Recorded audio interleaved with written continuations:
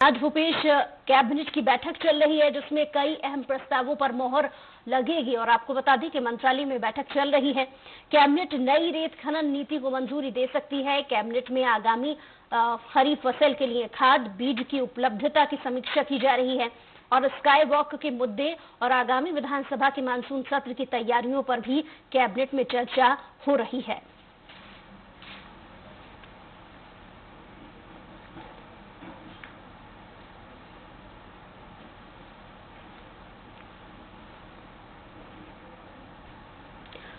तो नई रेत खनन नीति को मंजूरी मिल सकती है इस कैबिनेट बैठक में आज। और आपको बता दें कि इसके अलावा भी कई सारे ऐसे आ, मुद्दे हैं जहाँ पर आज बैठक चल रही है।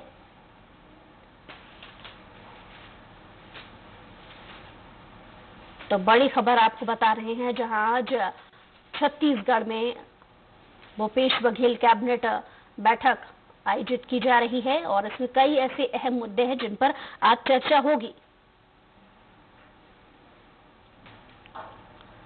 और ज़्यादा जानकारी के साथ स्वराज समता आशीष तिवारी हमारे साथ लाइव जुड़ गए हैं। जैसा कि आशीष, भूपेश कैबिनेट बैठक आज है। किन किन मुद्दों पर आज चर्चा हो सकती है?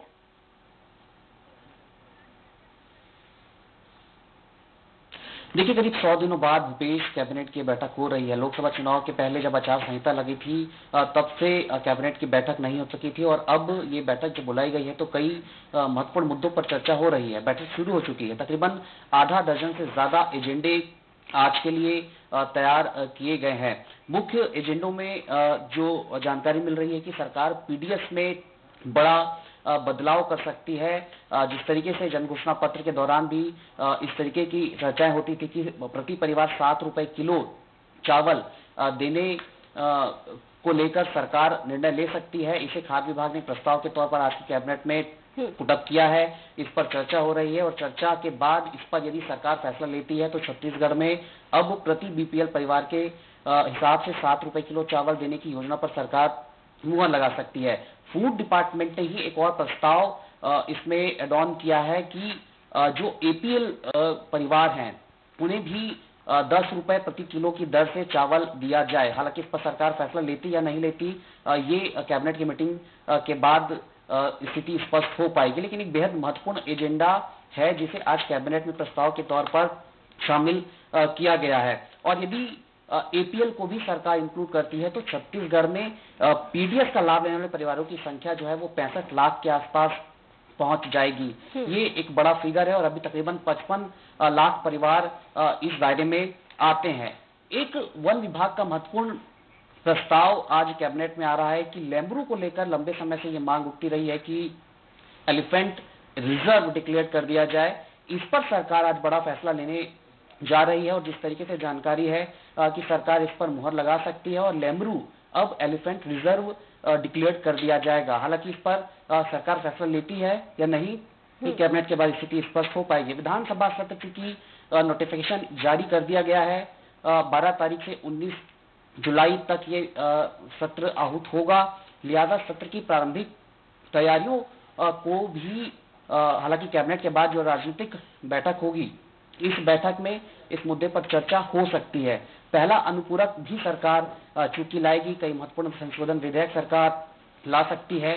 लिहाजा इन तमाम पहलुओं पर भी चर्चा बैठक के दौरान होगी। साथ ही साथ कल जिस तरीके से बड़ा फैसला बेलाडिला में नंदी राज पहाड़ को बचाने को लेकर जिस तरीके से आदिवासी लामबंद हुए हैं और एक डेडिकेशन ने मुख्यमंत्री से मुलाकात की है उससे जुड़े हुए मुद्दों को लेकर खनिज विभाग एक प्रेजेंटेशन दे सकता है। और कैबिनेट पिछली सरकार के जिस तरीके के आदेश रहे हैं, उसे रिव्यू करने पर भी फैसला ले सकता है। तो ये तमाम मुद्दे होंगे जिन्हें आज की कैबिनेट पर एजेंडे के तौर पर लाया गया है और इस पर चर्चा के बाद इन पर मुहर सरकार लगाएगी। जी। जैसा कि आशीष आज कैबिनेट बैठक में रेत खनन नीति को भी मंजूरी को लेकर भी चर्चा चल रही है। और लिहाजा सभी की निगाहें भी इस पर टिकी हुई थी क्योंकि पिछली सरकार में रेत खनन को लेकर, अवैध रेत खनन को लेकर भी तमाम सुर्खियाँ रही हैं। लिहाजा मौजूदा सरकार ने कहा था कि अवैध रेत खनन को खत्म किया जाएगा, नए रीति नीति लागू किए जाएँगे।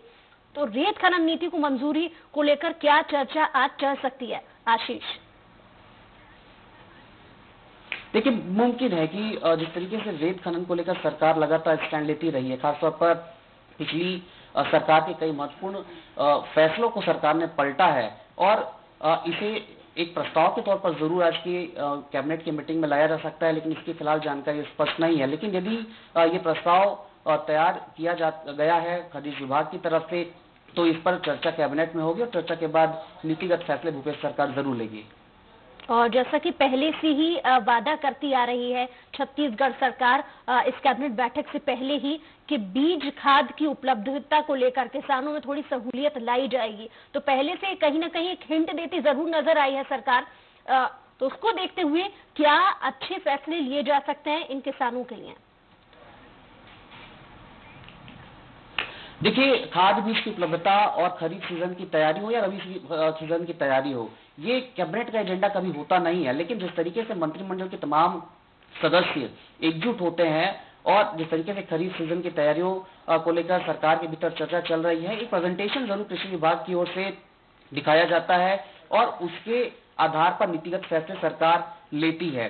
ज़ाहिर सी बात है कि आज जब कैबिनेट यहाँ पर चल रही है तो खरीफ सीज़न को लेकर सरकार एक समीक्षा कर सकती है, एक रिव्यू कर सकती है, तैयारियों की समीक्षा कर सकती है और इससे जुड़े हुए कुछ महत्वपूर्ण निर्देश जो है अपने माता अधिकारियों को जारी कर सकती है। हालाँकि ये एजेंडे के बाहर की चीज़ें हैं।